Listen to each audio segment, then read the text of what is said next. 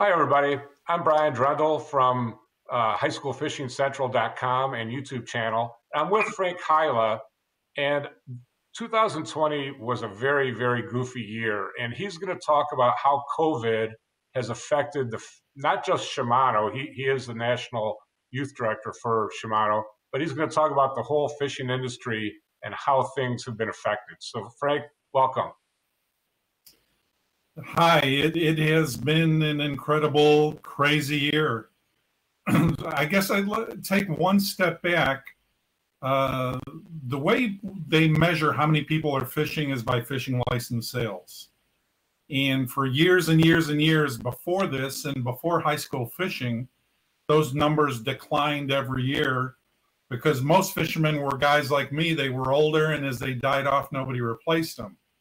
High school fishing completely changed that. I mean, I think at the average uh, license sale uh, for quite a few years were people between the ages of 16 and 21, greatest thing in the world. And now we're to present day where COVID came, and uh, people, I guess, decided not to fly away on vacations, uh, not to go on long trips. And for us and for everybody else involved in the industry, they decided to go fishing. Uh, fishing license sales state to state, I think I heard the average number of increase was like 84%. There are some states that some states that were as high as 150% higher than they had ever been before. And a crazy thing was now it wasn't just the high school fishing or fishermen, it was moms and dads were fishing also, grandpa and grandma, you know, little brothers and sisters. So what it did was, you know, fishing companies like Shimano and all the others, uh, they have a lot of high price guys that figure all this data of how many products they're going to need that each year and it just blew those numbers up. I mean, companies are seeing sales increases of 50, 60, 70, 80%. And it's all due to COVID. There, if, if any of you watching have been in your local tackle store or a Bass Pro or Cabela's or Sportsman's Warehouse, any of those, you probably notice the shelves are pretty bare. Yep. And that's because guys are out there and going fishing you know, even myself, I wasn't able to always get to go to the lake I want, but I've discovered new ponds, subdivision ponds in the neighborhood, and with my nephew, have hit them a ton of times. It's it's it's actually really good, and I don't think those numbers will stay that crazy. But we gathered a bunch of new fishermen into the sport, and that's just good for all of us. So I know I know uh, being a coach of a high school team, um, a lot of my kids on the team weren't able to buy things they, they wanted to. Um, mm-hmm. Now, now that we're videotaping this on December 30th of 2020, but by the time this comes out, we'll be into January or February.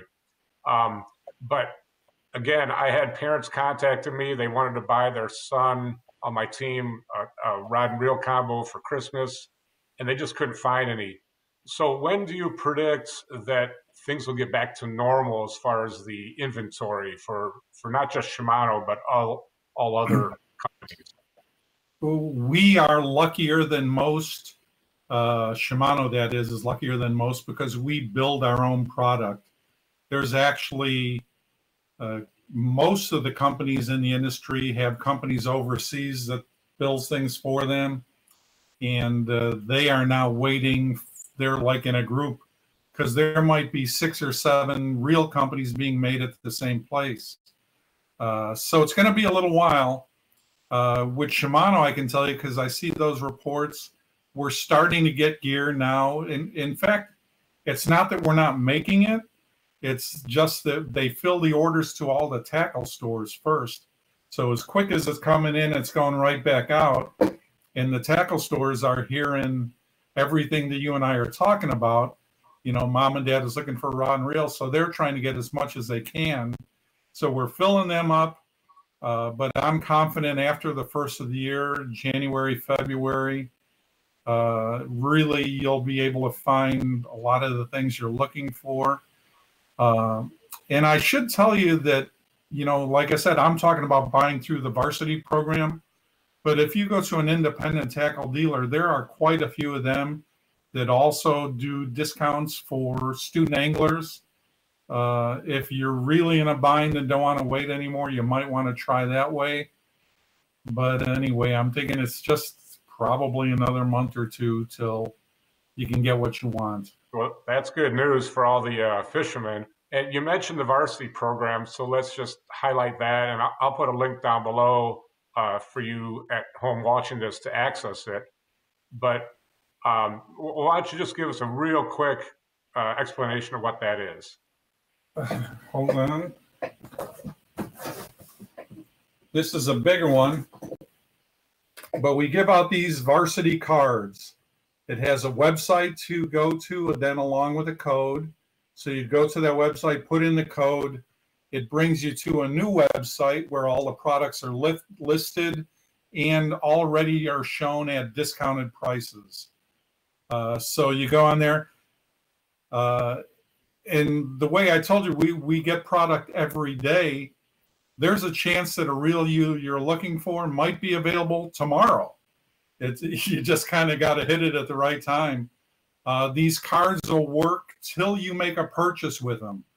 As soon as you log in and check out with an item, that it's a one-time code. The code is no good. You need a new one, and in that case, you'd have to contact your coach, your tournament organizer, or get straight with me, and we could supply you with with another one. Uh, these codes are intended to be for students you know, junior high school, college anglers. Uh, we're not looking to take sales away from our dealers, you know, so we're hoping parents still continue to support their local dealer. Uh, but it's just a way we can help the next generation of anglers. And uh, we, we hope to keep them fishing. So when they're adults, you know, maybe they'll remember who helped them out. So, so if you're a coach of a fishing team watching this, or you're a student, um, click on the link below, and that'll get uh, information for your coach to maybe get these cards for the entire team. Would would be the hope. Um, maybe if, if, you guys fish tournaments, uh, maybe the tournament director, uh, where you're fishing the tournament, will have some of these codes that they can give out as well. So uh, basically, just click on the link below and ask around. So the good news is it looks like the fishing industry should be starting to level up back out. At least Shimano should be because you're producing your right. own products. Um, I, I, know you can't predict for all the other companies when they'll have full, um, you know, their full line of equipment out and ready to go again. But it does look like 2021 is they're going to be more prepared and, and ready for us fishermen. So everybody, thanks for watching, and we'll see you next time.